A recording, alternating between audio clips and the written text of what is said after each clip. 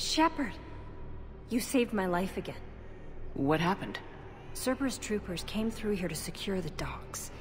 They lined us all up. Then, one of them started asking around for me by name. But they didn't find you. Their record said I went off-grid. If I hadn't changed my identity, I don't know what would have happened. Thank you.